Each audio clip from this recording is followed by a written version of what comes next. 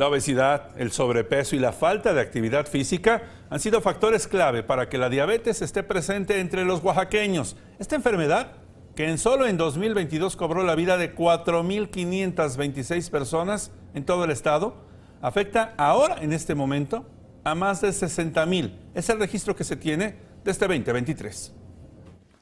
Alerta sanitaria en Oaxaca debido al aumento en la tasa de mortalidad por diabetes. Oaxaca ha mantenido por más de tres años presencia constante entre las 10 entidades con mayores índices de mortalidad por diabetes en México. La obesidad, el sobrepeso y la insuficiente actividad física se perfilan como factores de riesgo clave para esta enfermedad que en 2022 cobró la vida de 4.526 personas en la entidad.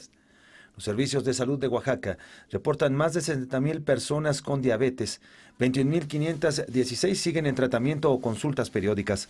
Aunque la enfermedad suele afectar más a personas mayores de 60 años, se observa un aumento en la mortandad en grupos más jóvenes, evidenciado por decesos en edades de 0 a 19 y 20 a 29 años.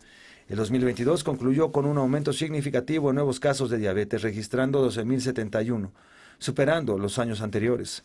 En lo que va de este 2023 se notificaron 10.840 nuevos casos, sugiriendo que este año podría cerrar con un nuevo récord.